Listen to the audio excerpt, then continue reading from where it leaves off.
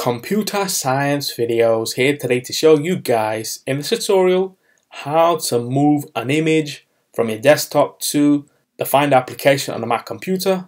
Without further ado, let us start the video. So in this tutorial, you need to have access to a Mac computer, have access to the Finder application, which is built into the Mac computer. We can now start the tutorial before I start this tutorial, I would like to say that you are more than welcome to subscribe to my channel, Computer Science Videos. As we know, every problem is solved by indirection. You can also follow my Twitter account. We are trying to grow as fast as ever. I'm on TikTok. We post videos here and there. Follow my page on Facebook. I'm also on Instagram you are more than welcome to support me on PayPal. Let's now focus on the video. So now let's go all the way onto the dock.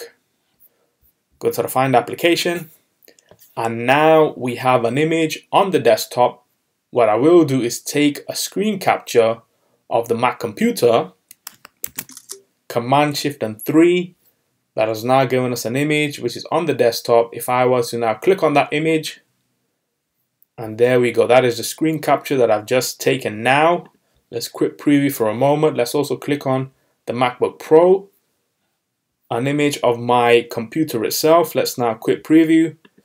In order for us to migrate these images from the desktop to the Finder application, let's now highlight both images.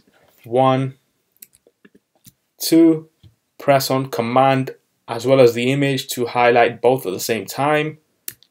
Command C. Let's now move into the Finder application. Let's now create a folder. Call that folder Photos 2023. Locate that folder that we just created. Right click, paste two items. We have now moved two images from the desktop to a created folder within the Find application on my computer we can now quit Finder.